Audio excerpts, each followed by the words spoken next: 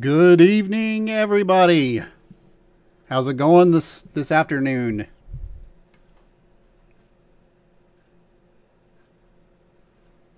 Hey, how's it going, Logan?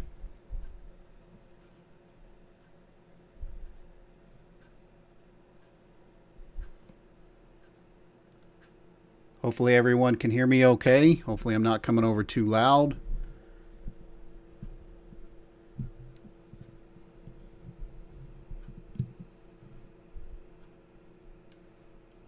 Seems like we got some people in here today. Four right now. Awesome. Fantastic.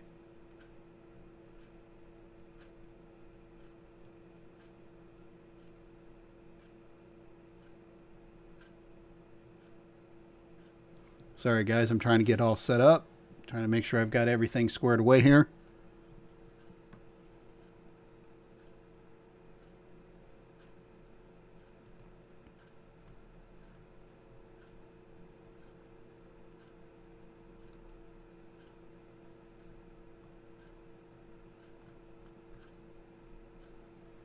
Everything is looking good.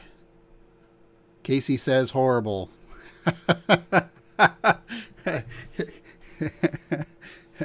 I'm trying to be a little bit more lively today so I uh, can help or uh, kind of liven up because Bub's not here today and uh, everybody says I sound like a like a school teacher. So I guess class is in session, correct?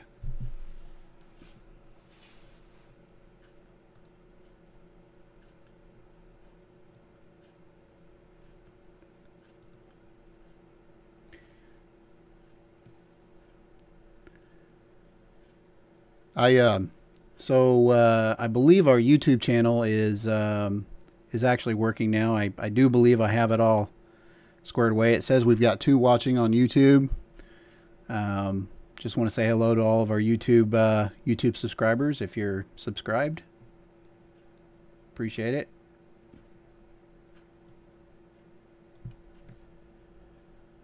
Professor.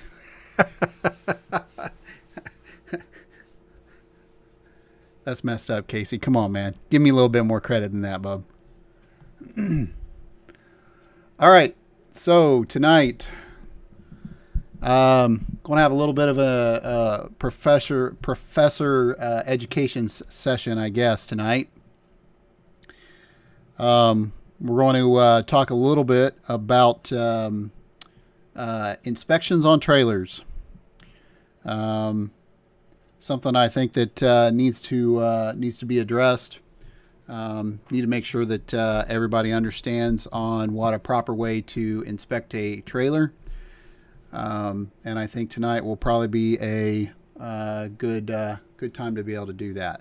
So um, we'll go and take a couple more minutes here, make sure uh, everybody's in here, and we will get underway.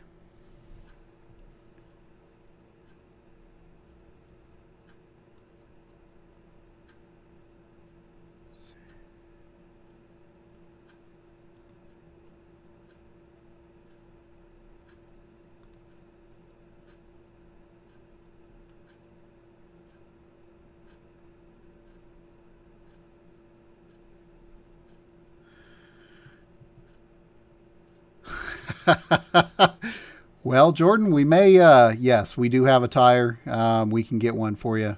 Uh, we just have to order it in here real quick. So um, we'll talk to Best One tomorrow and hopefully be able to get that accomplished for you. If not, we have uh, we have some tires at the uh, yard we might be able to square you up with. So it's good to see you in here. I haven't seen you for a while.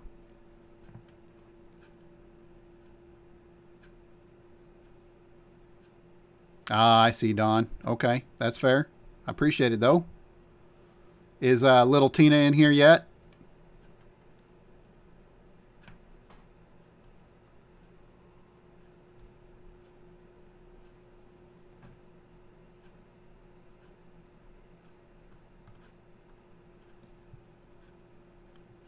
So uh, is everything working out pretty good? Can everybody hear me all right? No, uh, no uh, well, let me see. Let me move my camera just a bit here. Um, no reverb or anything like that. Nothing. Uh, everything's coming coming across pretty clear. All looking uh, all looking real good.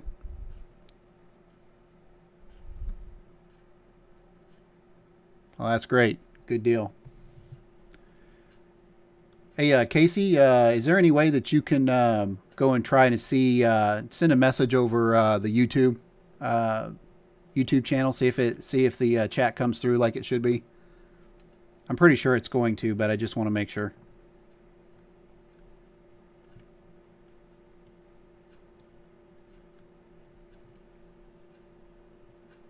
Sweet. So I got I I did figure that. Awesome. Good deal.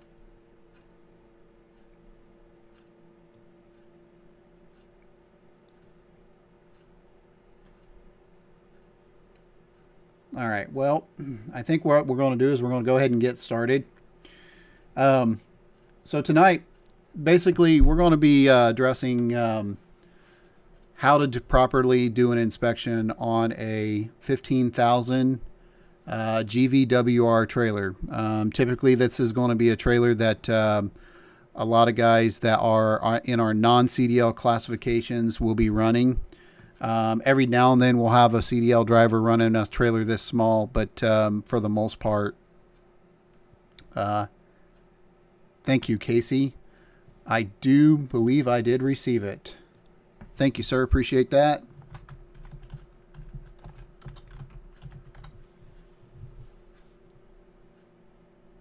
That is awesome. Thanks a lot. I did figure it out, and it, it's going to start working out pretty good from now on. So anyways, back to what we were saying. Um, we're going to be doing an inspection on a 15,000 uh, GVWR trailer. Um, now, uh, right now, I'm currently in the office. However, I did make a video um, earlier this week um, on uh, on an inspection, and we're going to go over that, uh, uh, you know, step by step, making sure everybody understands it, um, and uh, pretty much go from there. So let me swatch over here and get into our main desktop here. And um, I'm not going to uh, let everybody listen to the video. I'm going to just go ahead and kind of narrate it uh, a bit and um, uh, try to follow along. And uh, you know, we'll try to we'll try to move along at a pretty good clip. But um, um this is uh, the best way that I thought we could do this, and uh, hopefully it works out pretty good. So, um, but here we go. So Hopefully nobody can hear the audio on that because um, I'm kind of ashamed of the audio. You got this big fat dude with a fat head in there, and uh, we're going to move ahead. We're going to move ahead just a bit here. All right, so the first thing we're going to talk about here is, um, gosh darn it. Sorry about that. Let's see, where is the pause?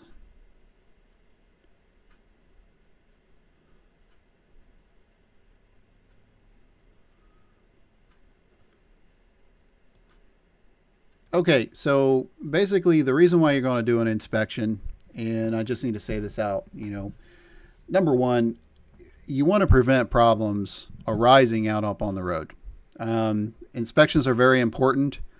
Um, they take just moments to do, and it's something that's incredibly, incredibly important um, in my eyes. And uh, they're not very hard to do, and it's just something that needs to be done every day. So, what we're looking at here is we're going to be looking at some tools that we uh, typically do. Uh, right now, we're looking at what you would call a, an electric grease gun. Um, not everybody has to have one of these. It's uh, it is one of those items that uh, we have here simply because we maintain a lot of trailers and we do a lot of greasing. However, we highly recommend that every single truck carries a uh, a, grease gun of some sort. Um, it's not necessary to have any really fancy grease gun, um, but uh, you definitely want a grease gun so you can uh, grease your landing gears, your jacks, your fifth wheel um, or any other item that definitely needs some grease. So the next one we're going to be looking at here is going to be a torque wrench. Um, this is kind of important. Uh, a torque wrench is one of those items that uh, you're not going to use every day. Um, but when you have to adjust your tires or when you have to change a tire, you want to properly maintain uh, proper torque spec on your um, on your lugs. Um, for a 15,000 GVWR trailer, you are going to be looking at 120 foot pounds is what you're going to need to put on those lugs. Um, I always tell guys if you get your tires changed from somewhere um, that does trucks, you need to be very careful that they don't over tighten your lugs. One of the hi Tina, how's it going? Uh, one of the biggest problems that uh, that you run into when you run into a 15k trailer is you got to worry about your lugs, and if they're not properly torqued, what will end up happening is you'll snap them off, and then basically your wheel will go flying off into the uh, the oncoming traffic, or it'll fly off into the woods. It's not very not very good, and it's very costly. You just need to make sure that you're properly torque it. Um, very important. Um, next thing we're looking at here is going to be just some sockets. Um, everybody should carry some sort of a socket so you can do a minor repair of some sort. And uh, you want to have a standard and a metric type of a socket. Um, and it works out uh, pretty well that way. Um, the next thing that we are, are going to look at here is probably going to be a multimeter. Um, this is not something you're going to need every single day, but if you run into a wiring issue, um, this is something that is incredibly helpful to help you out and maintain um, uh, and to make sure that you can diagnose an electrical issue. Um, when trailers get, it doesn't matter if you're running a semi trailer or, if, or, or if you run in some sort of a some sort of a hotshot trailer. The fact of the matter is, is you're always going to get the green goo on those connections, and you're going to have to find a way to be able to figure out how to make those lights work so that you're you're compliant and legal. Um, they're very inexpensive for the most part. They cost about nine, ten bucks. Um, I think the one I got here came from Harbor Freight, so it's it's kind of you know inexpensive. It's it's something that is very very helpful when you need to diagnose a situation. Uh, the next thing here, what we're looking at here is probably a 20 ton bottle jack. Um, 20 ton bottle jack for a 15K trailer is way excessive. Um, typically, you only need you only need about a 10, um, probably a 10 ton will, will be just fine. The one thing you want to make sure is that the bottle jack has a screw head like what this one's got. Um, it helps you to be able to adjust the bottle jack so that you can get it to the proper height. It's very, very helpful, and it's something that is that I would highly recommend every single guy carry. Um, you have some guys that will never change a, a, tire on their own, but a bottle jack is incredibly helpful um, and it makes your life 10 times easier. Um, and it's it's it's it's not something that's too difficult to carry. Um, next thing we've got here is uh, basically a small screwdriver. Um, most of you guys carry screwdrivers uh, in your toolboxes or whatnot, but this one's a little bit small. Um, you want a smaller screwdriver, so in case you have to pop out one of your lights or something, shut up, shut shut up, uh, bub. in case you got to pop out one of your lights of some kind, those types of uh, those types of screwdrivers are very very nice and they uh, work very very well. Um, the next thing here we're looking at is a brake spoon. Um, brake spoons are fairly uh, inexpensive, um, and those are used to basically adjust your brakes. Um, I'm trying to be more upbeat, hopefully, and not everybody's fallen asleep yet here. Okay, I'm, tr I'm trying to I'm trying to be a little upbeat and uh, hopefully everybody's not uh, not falling asleep. But anyways, what we're looking at here is a brake spoon. You can buy them at AutoZone, whatnot, and those are used to adjust your um, non-self-adjusting brakes. Um, you have basically two types of brakes in a 12-2 configuration. You've got adjusting and non-adjusting. Your non-adjusting brakes are going to be required to have a brake spoon. And uh, um, for the most part, if you have self-adjusting brakes, your spray, your brake spoon is um, you never have to worry about your brake spoon. So don't, don't be yawning at me, Jordan. Come on, man, that's messed up. Come on, guys.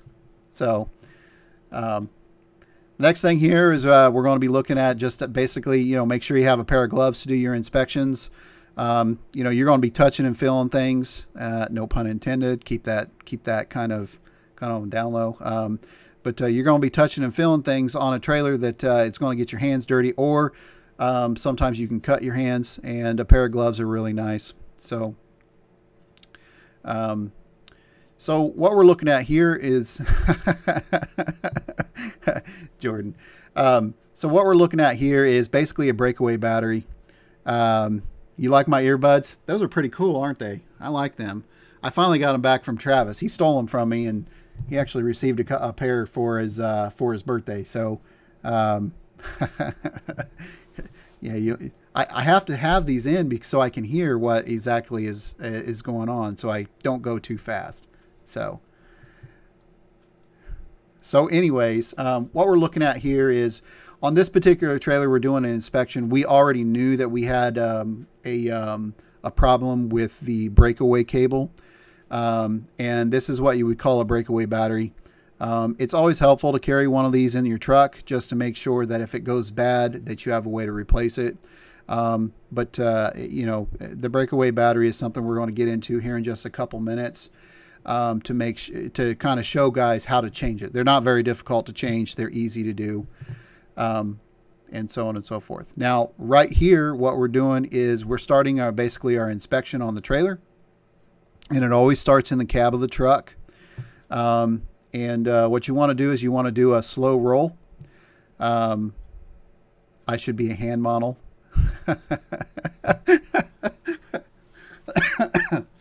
uh, so, anyways, you're going. pardon me. So, anyways, you're going to do a. Um, you're going to do what's called a slow roll. Don't don't be sleeping with me now. Don't don't be sleeping now, Jordan. That's messed up, man. That that's not right. So it is what it is. So anyways, um, we're going to do what's called a slow roll.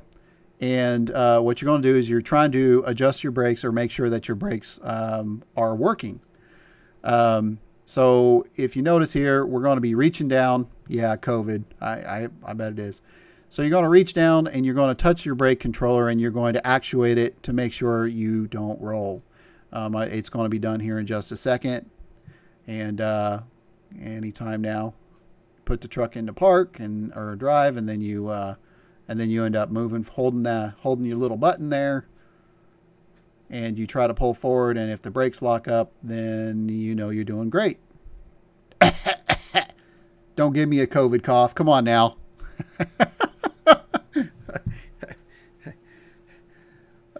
so some of the so some of the people on the free load quote side, uh, we've got several people that are watching us on the free load quote side.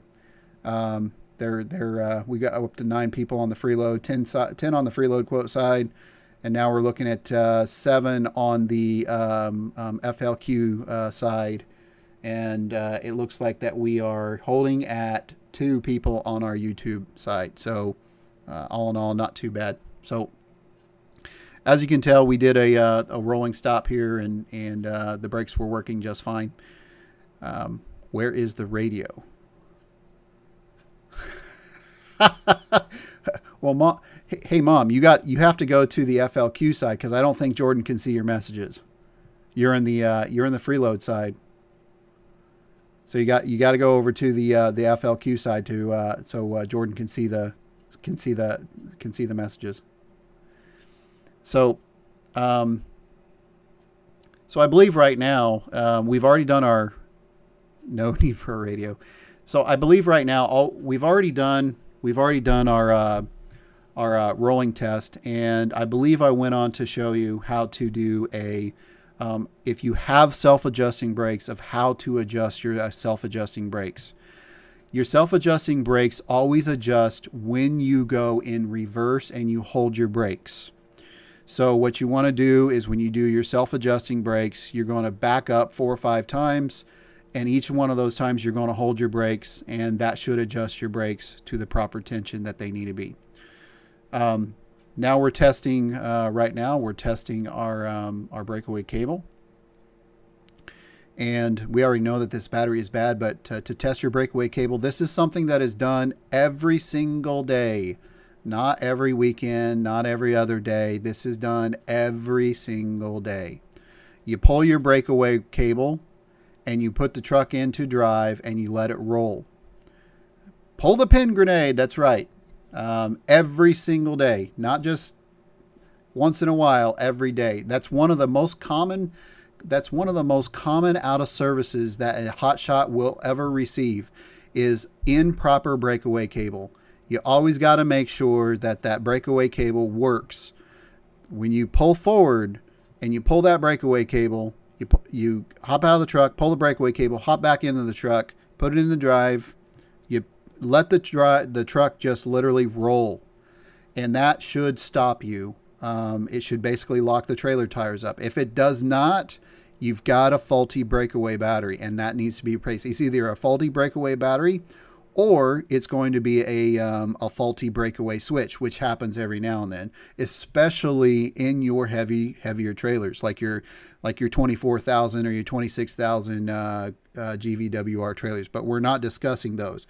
The maintenance aspect on a 24K trailer or a 26K trailer is a little different than what you're going to be doing on a 15K trailer. However, they're very similar and you can kind of apply the same principles but uh, there there are definitely a few different things on a 24k trailer or a 26k trailer than there are for a 15k trailer.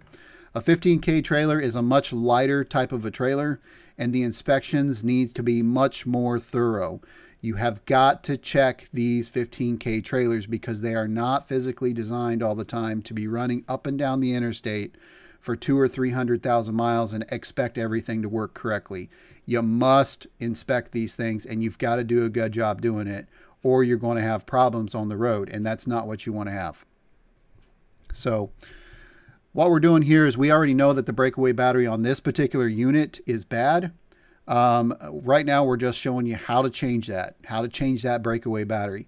Most breakaway batteries are in the 12 volt range, but you can find them in a 14 volt range.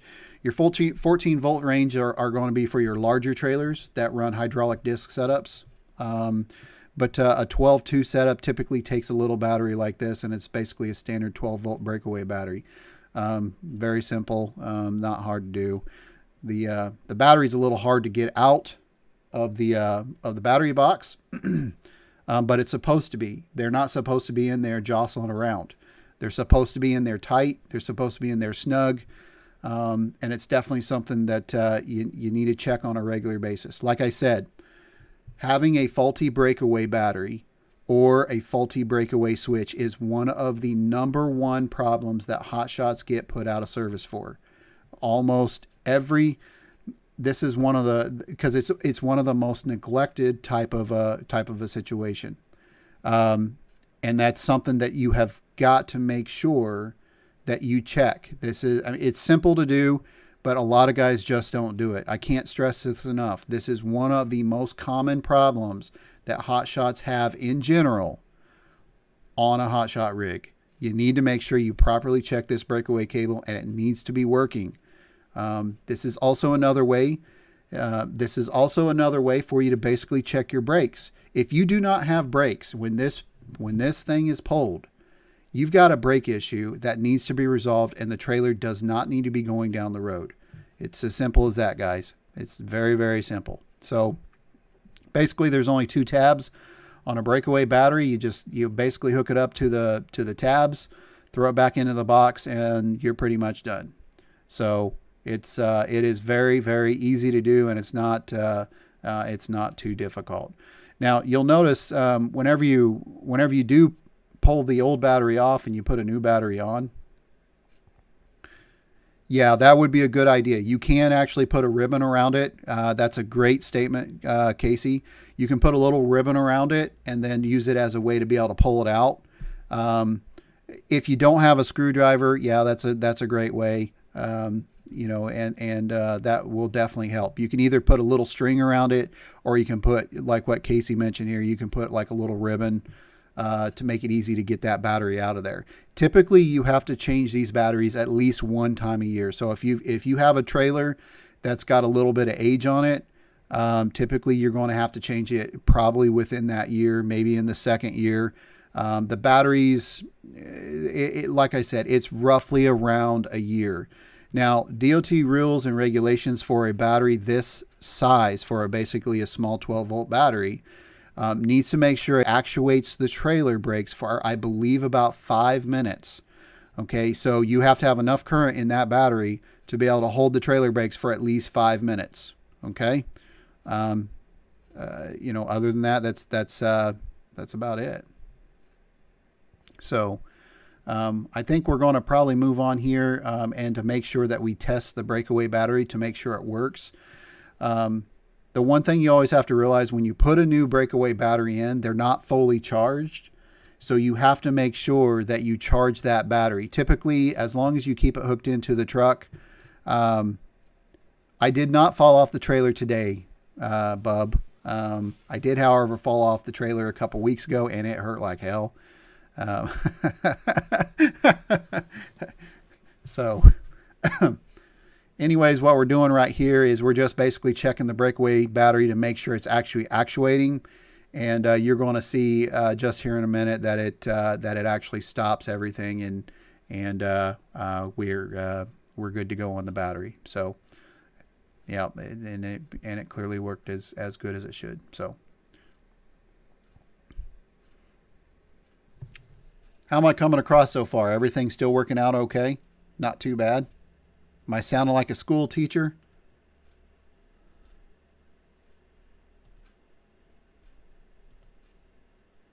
Does anybody have any questions so far about where what we've covered up here? Is any is there anybody in here? Does anybody have any questions yet?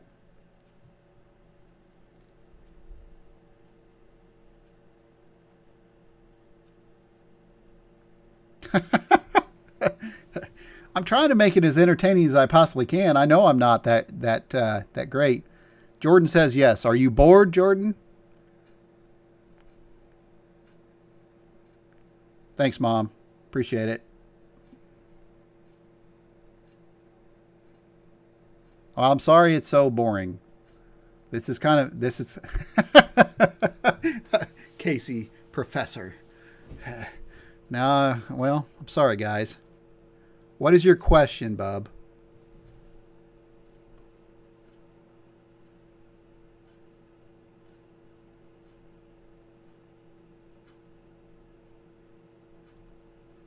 What is your question, Bub?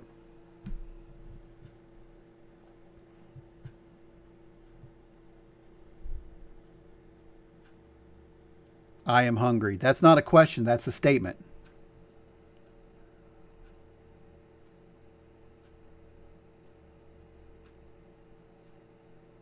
Don't quite understand which is proper way to put the pole, put proper way to pull away cable. I guess I don't understand what you mean by that, Casey.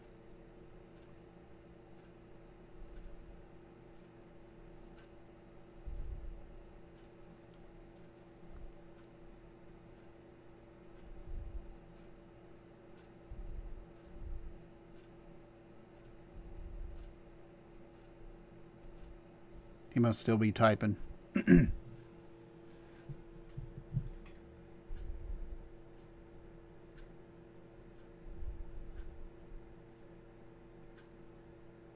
so why we, why we're figuring out what uh, Casey is saying here. Um, um, like I mentioned, guys, we are on three different platforms. We have a uh, Facebook on um, on uh, uh, uh, we actually have two Facebook pages. Um, one is uh, freeloadquote.com, uh, and then we actually have FLQ Transportation Group, and then we also are on YouTube um, underneath FLQ Transportation Group. Um, like I said, we, we've got three platforms here that we're trying to trying to post to, and uh, yeah. Ah, that is a great yes. You are absolutely 100% correct on that. Um, thank you for uh, bringing that to my attention, Casey. That is that is awesome. Um, let me go ahead and back up here just a bit on this video here. Um, one of the things that you have to be very mindful of when you hook up your breakaway cable to the truck, as you notice here, the breakaway cable is actually hooked up to this receiving pin down here. That is the proper way to hook up a breakaway cable or having an alternate connection out here on the bed somewhere or somewhere other than the hitch. You never want to have the breakaway cable hooked up to any part of this hitch. any part of the hitch, it, that is illegal. You never want to have that. Okay, it always has to be um, uh, hooked up to the actual um, truck frame or truck something other than the hitch. It just it needs to be hooked up that way. That thank you, Casey. That was that was an excellent, excellent, excellent uh, remark that we needed to make. Thank you on that. I appreciate it. So. So we're going to go ahead and move on just a bit here. Going to slide on up. And we're going to go ahead and we're starting our inspection, which we've already started um, with our, uh, uh, our sliding roll. And what we're going to do here now is we're going to just take a look at this, uh, this hitch. Um, this We utilize all fifth wheel hitches. Um, and fifth wheel hitches, there are a few things that you need to be kind of mindful of when you uh, are working with a fifth wheel hitch. Number one, you want to try to have a hitch that is well greased, um, especially up here on between the uh, connection point between the actual fifth wheel and the um, and the head of the of the main fifth wheel. It needs to be greased so it can either slide. Now, if you don't want to use grease, that's fine. You don't have to use grease. Um, you can get what's called a Teflon plate, and that's one of these things that is down right here. If everybody can see my mouse. Um, this Teflon plate basically goes up underneath your fifth wheel, and this Teflon plate can act as a um, as a grease um, or, or, in the place of grease. So um, Teflon plates are all right. They're nowhere near as messy. You don't have to worry about getting all dirty and stuff like that, unless you know you've already got grease on it. But um, you got to kind of kind of be mindful of that. But uh, for the most part, um, they work out pretty good. So when you're doing your inspection, and you're um, uh, hi Kai, doing well. Hopefully you're doing pretty good too. It's good. That is correct. Um, if you guys want to get together this weekend, um, I'd have to talk with Lee, but uh, we can have uh, steaks on the grill if you guys want to. Um, I don't know about ribs. I don't. I think I've got some beef ribs. I don't know if I have some. I know I don't have any uh, pork ribs. Um, all right. So what you're also going to look at too when you're doing your um, your inspection is down here on the bottom where the where our fifth wheels hook in. You're always going to want to make sure that there these pins are properly in place and the um, safety pins. Um, yeah, sometimes they do, but um, sometimes they are kind of a pain in the butt. But uh, they do work pretty well. Um, Yeah, you do. Yeah, you do, Curtis. It's gonna be it's gonna be Saturday. It's not gonna be Sunday, so you got time. Come on, man. You can show some love up here. You'll be all right. so, anyways, you want to make sure your pins are all set up. All that stuff is great. Um, you don't want to have any of these pins missing. Um, that is a number one out of service violation. Um, so you always want to make sure that these pins are all set up. Okay. Uh, number, t- uh, you know, another thing you got to worry about is these connection points right here, where the where the basic arms of the fifth wheel go down into the rails. You want to make sure that those are snug, and you want to make sure they're properly connected. Um, and you want these always adjusted to the height of your trailer. Um, I can go into a lot more detail on that at a later time. I'm not going to do that on this one, but you kind of want to have these you kind of want to have this this head, this you know your fifth wheel head, to make sure that you you've got a pretty flat running trailer. It helps you get better fuel mileage, um, and it uh, also uh, lessens tire wear because you're not transferring your weight to the rear axle. So you want to try to have these as as level as possible based upon the trailer that you're doing. Um, so we're going to go ahead and move up to this one right here. Here's the next thing you need to look at. Um, okay, so way up here on the top of this, which uh, I don't know if you can see. Let me see here. Let me go ahead and move this around just a bit. Uh, you can't really see it. Anyways, on the on your fifth wheel, on the basically the trailer side of things, you're going to have a set screw that's going to be up here on top, which it's hard to see. I wish I would have got a better picture of this, but this set screw up here, you're going to have two of them mostly on our trailers. Sometimes you only have one. Sometimes you've got a, a combination of a set screw and um, um, another uh, another screw on the back side of it, so it actually squeezes it squeezes it together. Um, but on this particular unit, and mostly all of our units, those set screws need to be tight. You got to make sure that they're snug. Um, do not ever let them run loose. Um, if a DOT sees that, typically you're going to get put out of service for something like that. Um, and like I said, there's two of them on this on these particular type of trailers, um, and you always want them tight. Um, very, they're, they're pretty snug, and you want to make sure that the locking nut is actually snug too. You never want to run them without it. Um, I had one trailer that uh, a guy did that to, and it caused a lot of problems inside the trailer neck. Um, and it was pretty expensive to get repaired. So always make sure that those are done and that they are tight. Um, the next thing here is you always want to make sure you have your pin in. The pin is very important, um, but this pin is not supposed to carry a huge amount of weight. This particular trailer, you can take this pin and you can actually rotate it with your hands and everything works out pretty good. Um, on that pin, there's going to be a cotter key that's going to be other side, and you want to make sure that that cotter key is put in place and everything is rigged up tight. Now, one thing you need to be very mindful of here too. um, all of our trailers are set up underneath a fifth wheel setup, and um, we do not run uh, what's called a gooseneck ball. Um, now, if a driver comes in and he wants to run a gooseneck ball, that is perfectly fine. Um, he just needs to change some stuff out, and the connection points are going to be a little different than a typical fifth wheel. Okay. Um, they actually, um, I prefer a fifth wheel a lot easier. Um, they're much easier to work with unless you're going to be unhooking the truck and the trailer um, in several different ways um, whenever you come home. Uh, but if you keep the truck together, a gooseneck's not too bad. But with us, because we swap trailers and we try to move trailers around and we try to give our guys um, variations on the type of trailer that they're moving. Um, the fact is, is that we want something that's easier to move around, and that's the reason why we work with fifth wheel.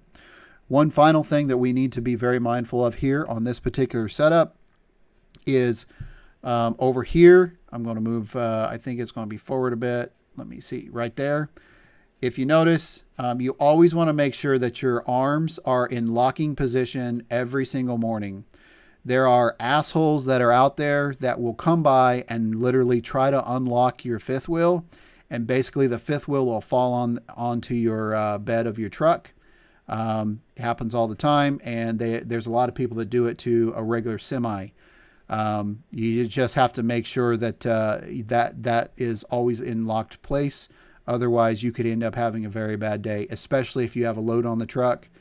It can it can i mean some of these things will, I mean, and some of the Fords, because they're aluminum bodies, it, if you're heavy enough, it will literally crash through the uh, deck of the trailer or the deck of the um, uh, of the truck, and that's something you want to be careful of.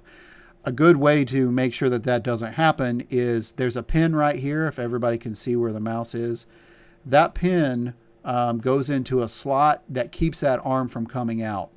So it's nice to have either a pin like what's in this right now, or excuse me, or you want to have some sort of a um, a lock on that that can go through there to keep that from ever coming out. It's very helpful, um, and it can uh, it can save you from having a very very bad day. So, um, so we're going to go ahead and move on just a bit here.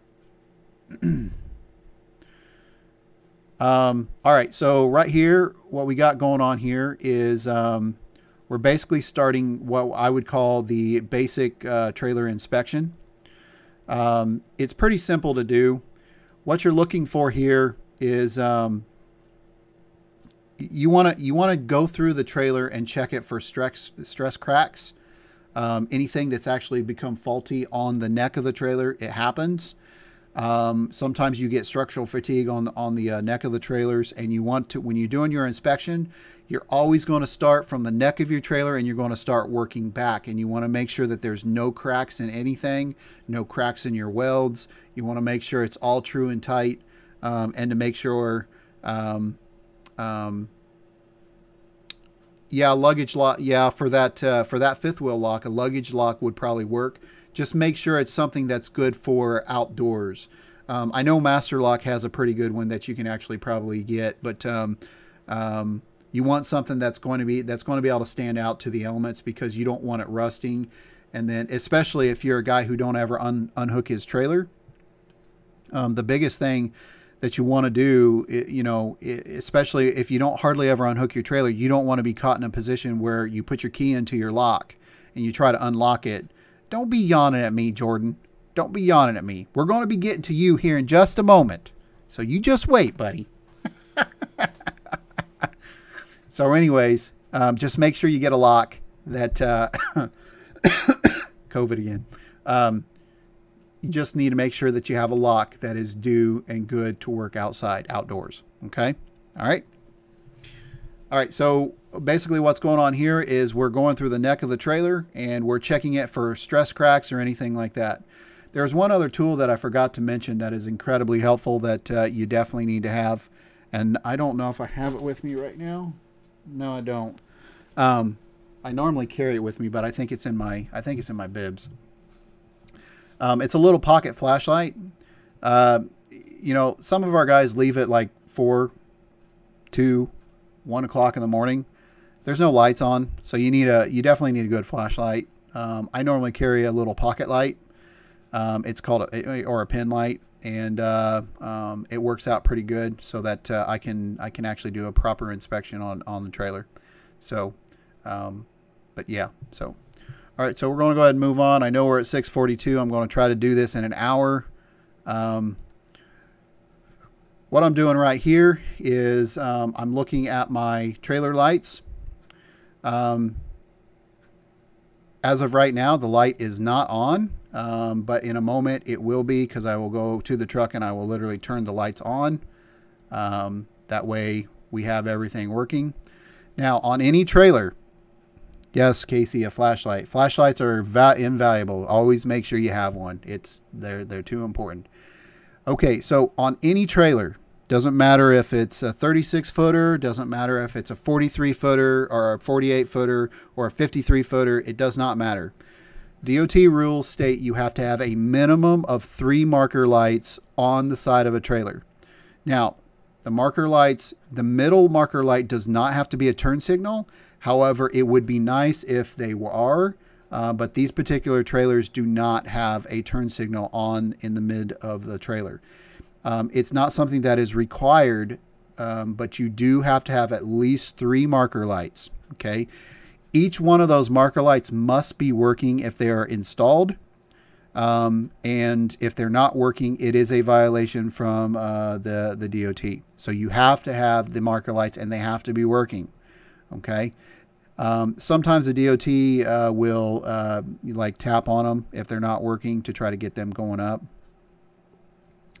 Um, but uh, uh you need to make sure you need to make sure that uh, that all of your marker lights are working. Not we're going to go around the side of the trailer and um, every marker light needs to be working. Every single one of them. Okay. All right. And you always want to make sure that your license plate light is working. That is another common violation that guys run into in these smaller um, uh, smaller setups because um, for some odd reason the the the license plate light is I don't know if they're crap or what exactly goes on with them, but there's always an issue with the license plate light. So always make sure you check that. So, um, all right, so we're going to go ahead and play this on here. And basically what we're going to do is, again, we're going to check this for stress cracks or anything like that in the frame um, after I get my big hands out of the way. Um, the stress cracks in the frame can be kind of minor every now and then, but if you see a stress crack up by the neck, you need to immediately take the trailer out of service and it needs to be fixed. Um, what we're doing here is um, uh, we're going through the frame and we're making sure that the uh, frame is solid. Um, and uh, right now we're just, if you're loaded, you use this time to actually make sure that you take care of your, uh, your straps, make sure they're tight, make sure they're good to go. Um, this is, uh, this one's looking okay until we get to the other side, um, but we'll deal with that here in a minute. That's a, that's one part I was going to get to here in a couple minutes, but Casey made a really good point If it has been snowing and you have salt spray and you have something on the roads, you need to make sure that you clean off your rear tail lights because if they cannot be seen, you will be ticketed for it, which is a lot of times it's a it's a it's a crock of crap. Um, but the thing is, is you need to make sure that your lights are clean. And for example, right here, we got a lot of salt on them. So typically I go back behind them and I, I try to wipe them off. Now, a couple years ago, we had a driver that was driving through a snowstorm and his tail lights were covered with snow um, because he was driving through a snowstorm and they they pulled him over and gave him a ticket, which is ridiculous, but it is what it is. So always make sure your rear lights are are wiped off and, and they are clean. Same way with your marker lights. You want to make sure they're all clean. Um, it's all good. So, um, but uh, yeah, just make sure all of your marker lights are working and they're in good order, as well as your license plate lights. And uh, yeah, so it's good. So, going to go ahead and move on a little bit here. Um, let's see here. So we're going back, back down the side. Um, what we're doing here is we're just, again, we're checking the frame, making sure everything's good with the frame, um, and we're making sure that we check our tires. DOT rules and regulations for any type of tires other than your steer tire is 230 seconds. 230 seconds. Um, typically, if it's down to the wear bars, you need to replace your tire. Okay. Now, I'm going to pause this here for a minute because um, um, this is uh, this is an issue that uh, some guys just don't understand. If for any reason a DOT officer comes up and does an inspection on you, okay, number one, if he checks your tires and he sees something wrong with your tires, he can take that tread depth gauge and he can measure it at any part of that tire that is supposed to have tread on it. So if any part of that tire, let's say for example it's got some cupping issues or it has, let's say the trailer tire is wearing on the side, any side that is supposed to have tread on that tire and it does not meet the 230 second requirement, you will be put out of service. Again, you need to make sure that you check your tires every day. There is a 230 second minimum on your tires. If it's anything less than that, you will be put out of service. Okay? Make sure you stay on top of that. And it has to be, you have to have good tread depth across the whole face of the tire um, where the tread is supposed to be. If it is wearing funny and it is wearing sideways onto the bald side uh, or, you know, to the left side or to the right side, and a DOT puts that measurement gauge on there, um, you and you do not have at least 230 seconds, you will be put out of service. We do not like out of services, uh, so make sure you maintain that. Okay. um, this particular tire is getting close to needing a change. Um, I think we had a little bit of an issue with uh, uh a trailer tire that was either we hit something in the road or something like that. I can't remember what it was, but this particular trailer tire is a spare. And when I did this inspection, it was done on a uh, Saturday, so nobody was really open. However, it still meets DOT requirements. We're going to go ahead and run with it um, for the moment, um, but that tire is going to need to be replaced here fairly quickly. Um, and uh, but uh, I think we've got maybe probably four or five thousand miles left on it, um, but it's going to be coming off here within probably the next week. So. Um, so uh, we're going to go ahead and move on. And again, like we're doing, we're just going down the other side of the trailer here, uh, just checking everything out, making sure it's all good, uh, making sure we have no stress cracks. Again, when you're going through your inspection every morning, you want to make sure that you check. Um, you want to check and make sure that your straps are great.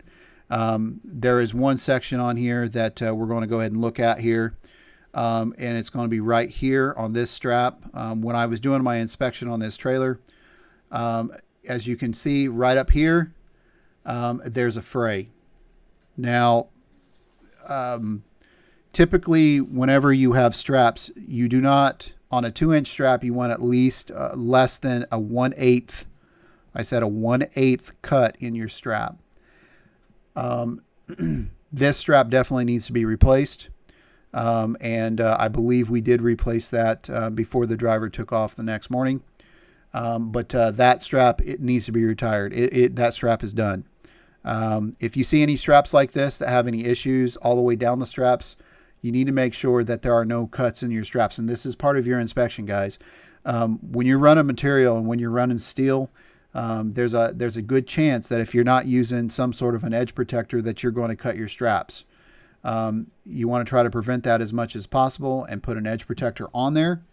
Um, but the fact of the matter is, is if you see a strap that has any type of a fray on this and it's in, within the securing point of that strap, it needs to be tossed. It needs to, you need to retire it.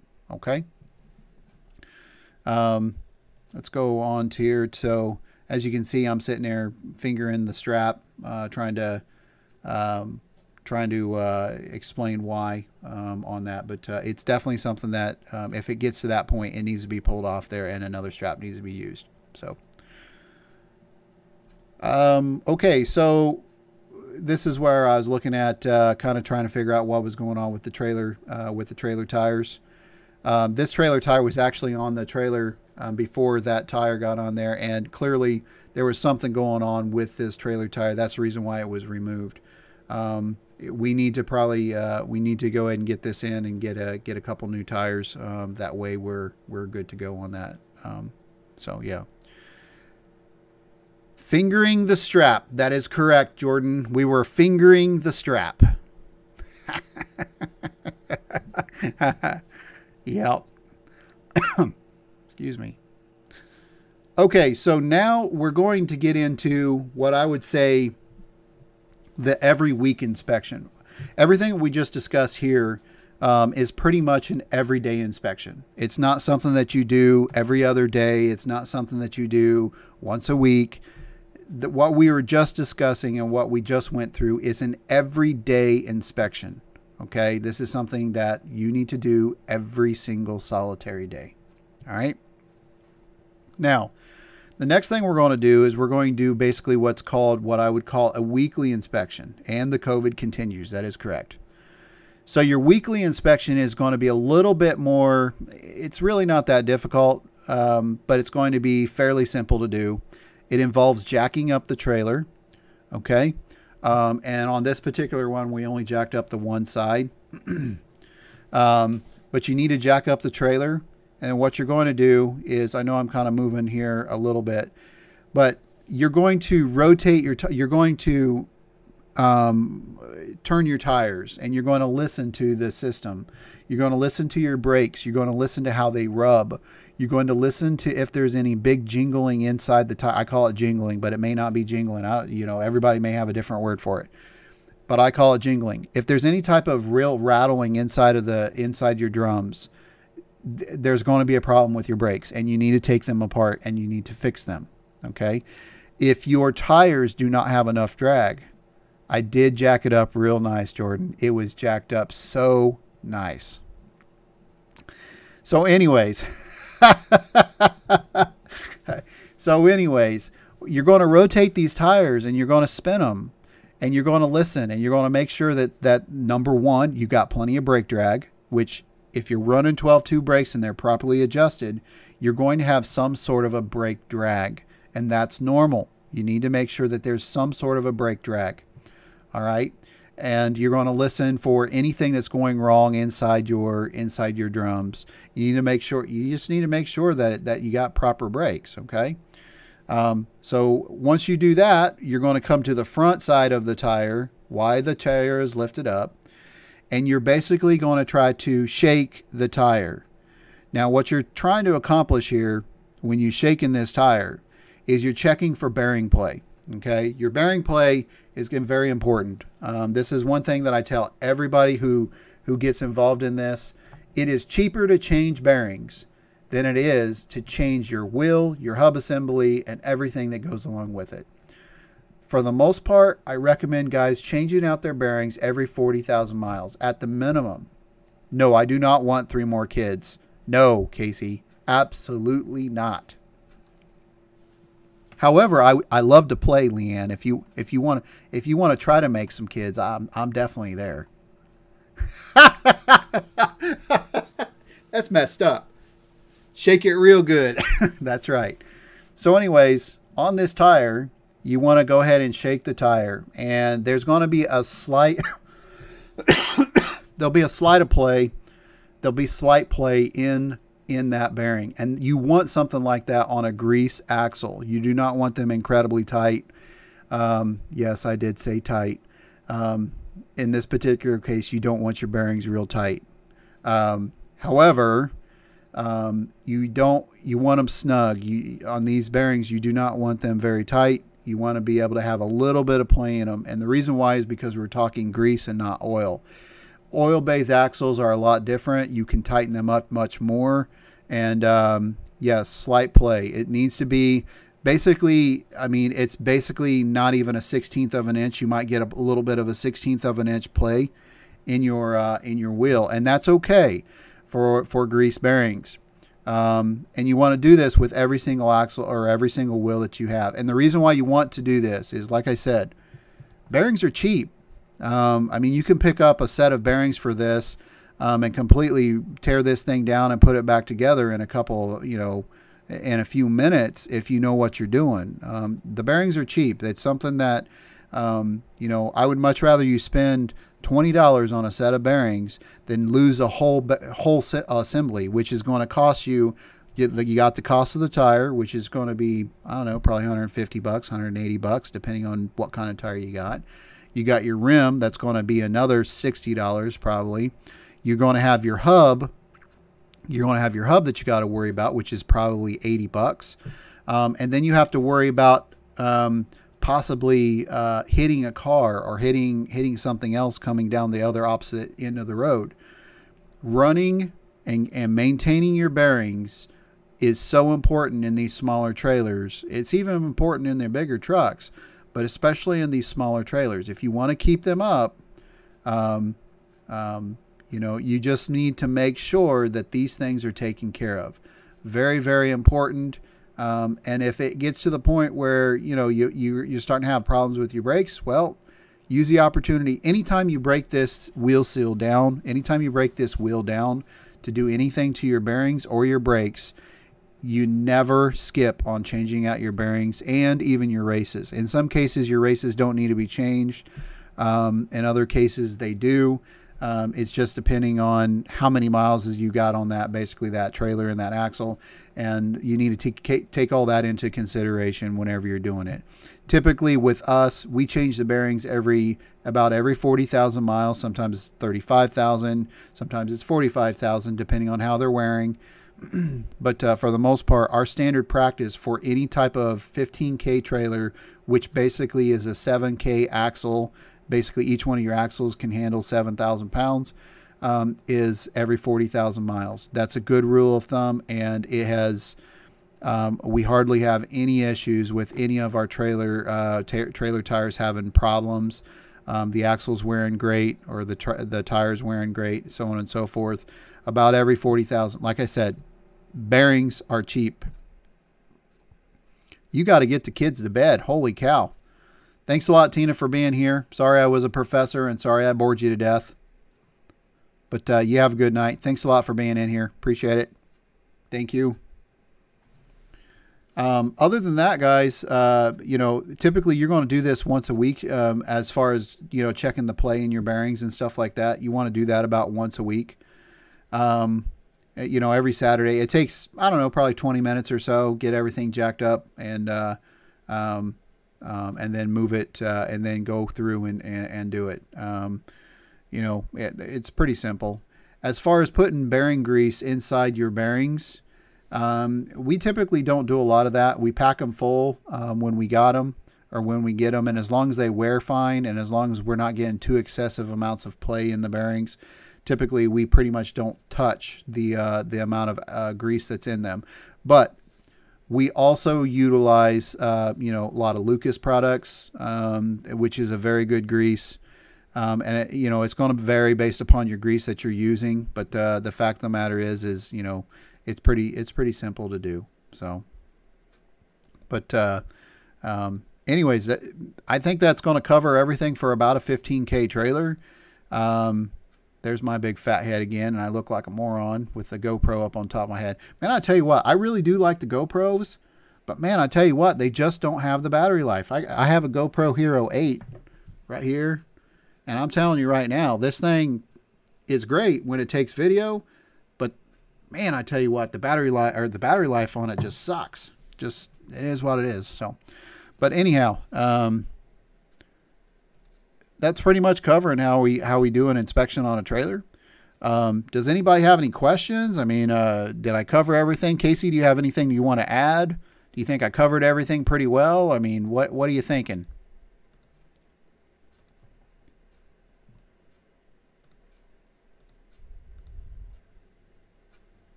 Jordan, do you have anything to add?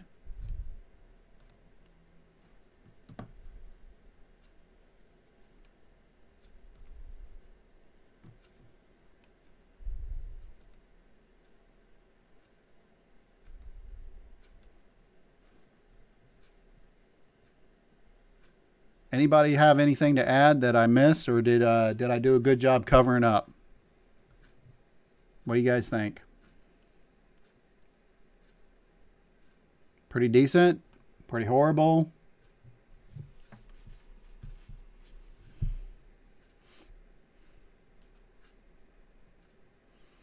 Think it, you think I covered pretty much everything?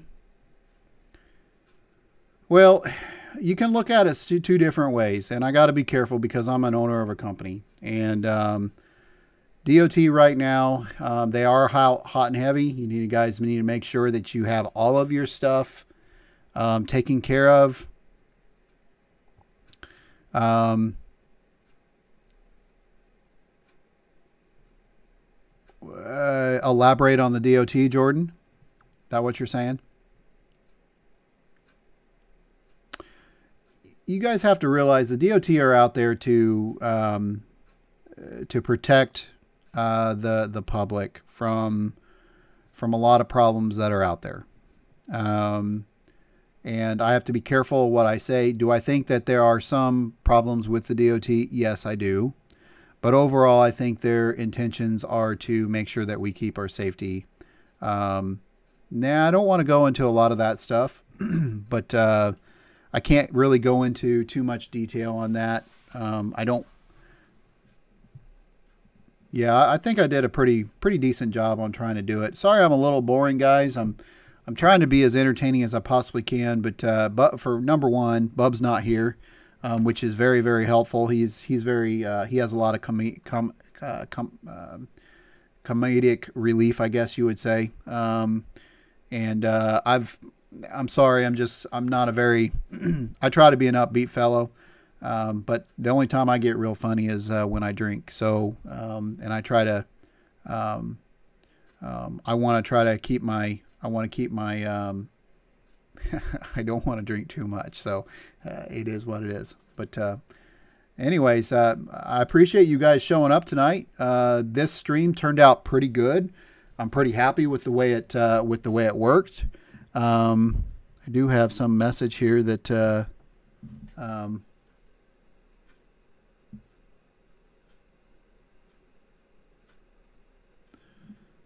I just got a message from uh, an old driver that uh, may want to try to come back. Um, I just don't know if I want to. I don't know if I want to work with him. Um, yeah, we'll see. Anyways um, yeah, we definitely need to uh, this weekend. Uh, hopefully, Lee uh, isn't going to kill me when I when I say this. Uh, we definitely would like to have some uh, steaks with you guys. Um, if you guys have uh, have an opportunity to swing out, get together, maybe have a couple of beers. Um, um, but um, I think that's pretty much it for night. Um, but yeah, so anyways, if you guys have any questions, uh, if I if I didn't cover anything, or you feel as though I missed something, uh, you guys are more than able to uh, give me a call here in the office. Uh, office lines are open um, between uh, 8 and 5 a, uh, 5 p.m. Um, you're more than welcome to give me a call then. Um, however, if if you have my cell, um, if I answer it, I'll I'll pick it up and I'll try to get to you as soon as I can. Um, I will never give my cell phone out over YouTube for various reasons. Um, available Saturday. Well, if you guys want to do it Saturday, Saturday works for me. Um, I do know that uh, I know Lee said something to me earlier today about having something that she had to get taken care of this week. So I don't, I don't know if uh, I don't know if, if we're going to be able to do it Saturday. Um, text me, everybody that uh, has my cell. Go ahead and text me, and uh, um, we'll try to get something squared away. Curtis, um, I'd love for you to show up if you can, but uh, I do understand you're running out to California. Um, but uh, we definitely like to see you here. Um, and uh, if we can get all the girls, uh, that would be great. I do know that. Um, well, you got to realize I'm a busy dude, uh, Jordan. I have a lot of stuff that's going on. so, anyways, um, I think Dawn, if I'm not mistaken, I know Dawn is heading up this way. She's uh, she's actually coming out of Florida, and if I'm not mistaken, I think she's going to be up here I think she's going to be up here later tomorrow night. Um, I think that's what it is. So she may be able to be here. I, I don't know what her plan is. I don't know if she's got to get home. Um, I do know that she was going to get here, but it was going to be late tomorrow. And um, I can't remember to save my life if if uh, if she was going to spend the night or if she was just going to um, um, head on uh, head on back home. So but uh, if she's here, that'd be great. I love, uh, you know, I'd love to have everybody here if we could. Um, and that'd be, I, I think that would be pretty cool. So, anyways, guys, um, I appreciate you all coming. Um, this turned out to be, I think, a very good live, um, even though it's more of a professor type of a talk. And uh, I really enjoyed doing this tonight. This was. Um, um, this was a uh, this was in my opinion this turned out to be a really great live uh, again, um, I really do appreciate everybody showing up tonight. Um, and uh, hopefully we'll keep this going on and, and uh, um, uh, work it from there. But uh, you guys have a phenomenal evening. And uh, we will see you guys a little later. Um, yeah, I, I think that's I think that's pretty much I think that's pretty much all. So other than that, uh, let me see about how I can close this thing down. So, anyways, you guys have a good night again.